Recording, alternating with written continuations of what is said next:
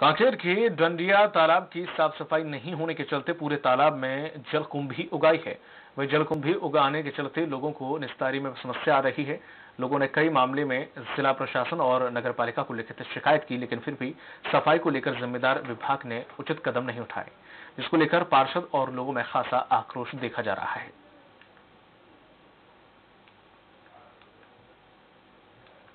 यहाँ इतने जल कुंभी और जहरीले पौधे इसमें तालाब में हो गए हैं, जिससे चर्म रोग जैसे बहुत सी बीमारियाँ हमारे वार्ड वासियों और अन्य नगर वासियों को हो रही है।